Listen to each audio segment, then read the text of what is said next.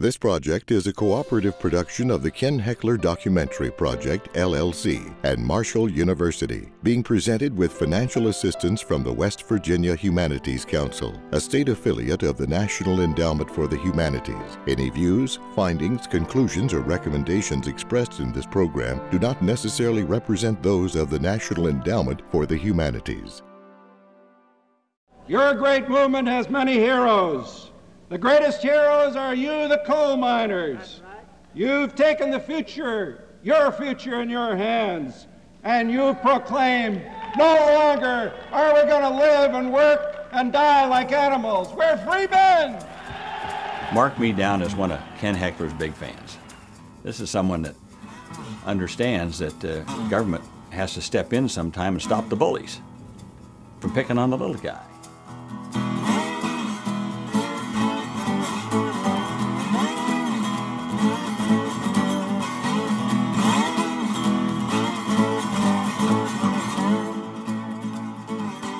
Presented the Harry S. Truman Award for Public Service in 2002, Ken Hechler spent a lifetime establishing a formidable reputation through his efforts on behalf of ordinary people.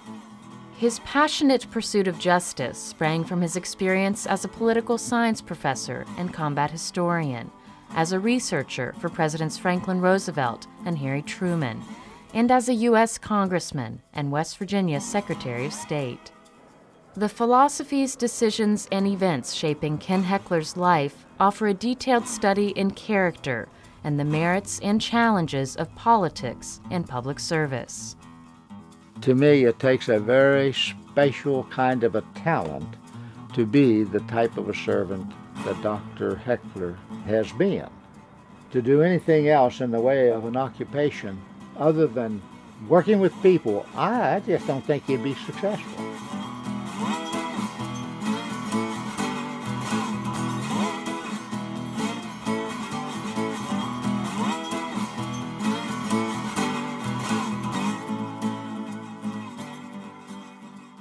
Ken Hechler was always this person who really didn't say that much, but his his his presence made you feel comfortable to uh, engage him and to trust him. He looks at you and kind of looks at and he and he nods a little and listens to you. You have the feeling every word you say he's digesting and that he's going to think about that. Ken had this great zest for public service. I mean, there was an enthusiasm that he brought to public life that I think was a distinguishing characteristic. I think politics and public service, and I put those two together, are the lifeblood of Ken Hechler. He loves the challenge. It invigorates him, it energizes him. Ken always reminded me of a windmill. I mean, he was everywhere. I mean, he was in the front row, the back row, always buttonholing somebody and always talking about something for West Virginia or his constituents. I've been in politics all my life and I've never seen anything like it. Lincoln said that government should do for people what people cannot individually or collectively do for themselves. As a student of history and as a public servant, Ken Hechler came to understand that people make government work, that government must be accessible to the people, that government must serve the people, and that government without justice leads the people to ruin. What's justice? Just a sense of fair play. That there's a level playing field, that all people, regardless of their station in life, regardless of their class, regardless of how much money they have, regardless of their ethnicity, regardless of how they look, everybody's treated equally. That's justice. The mark of a good politician is to provide justice. I'm going to fight for a labor reform bill which will help clean up racketeering. That's one of the things that's the hallmark of Ken Hechler. Whatever you may disagree with him, I don't think you could ever question his motive that he tries to do what he thinks is in fact just. The preamble to the Constitution of the United States sets certain priorities. The very first priority is establish justice. We, the people of the United States, in order to form a more perfect union, established justice. Established for whom? For we, the people. the most important individuals, human beings, not special interests, not corporations, not heads of labor unions, not any other special interest, but we the people. Central to the story of Ken Hechler are individuals in government, in politics, acting on behalf of the people they represent. Politics is a noble profession. To go into politics is to enter one of the most important human endeavors. It's hard work, it's challenging, but it can also be enormously gratifying. If you know what you're doing and you're effective at it, you can make positive things happen that otherwise would not happen. Politics is the authoritative allocation of scarce resources. There is never enough to go around for everything that is good. Someone in authority has to determine what are we going to do. Shall we build a new schoolroom or a new highway? Shall we develop more tourism or shall we help mental health? That's what politics is, pure and simple. So if you really want to do good with a capital G, politics is where it's at.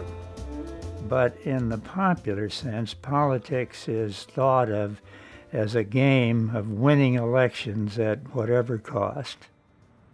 I must say, from my experience, it's the politicians that have given politics a bad name by just wanting to hold office and wanting to get reelected rather than using their office as what Theodore Roosevelt described as a bully pulpit. It was very inspiring because he set an example. He always had the underlying principle of justice.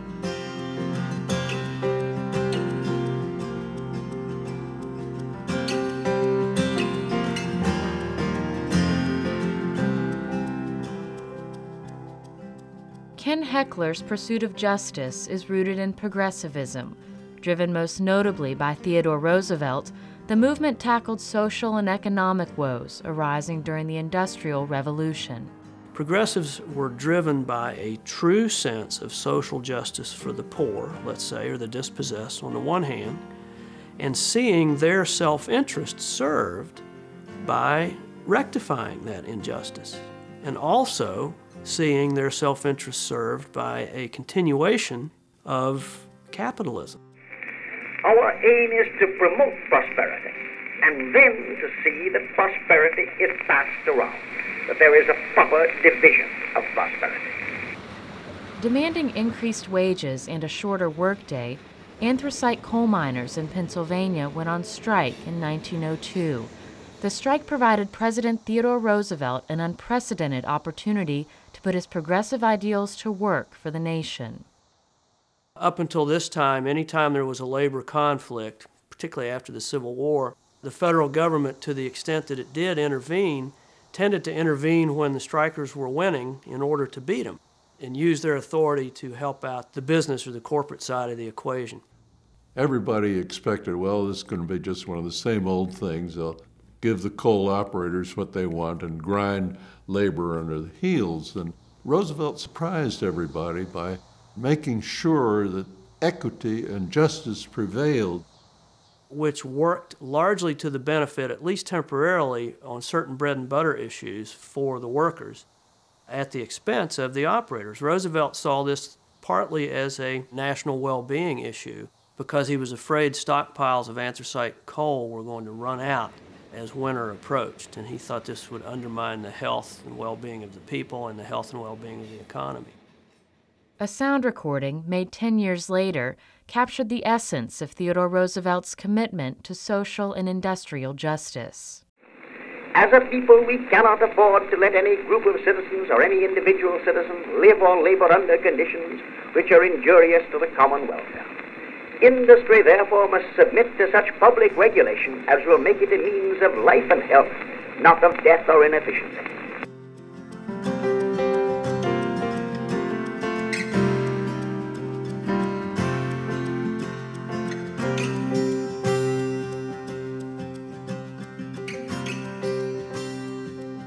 In 1918, Theodore Roosevelt addressed a crowd near his Long Island home and impressed the Hechler family of Roslyn, New York.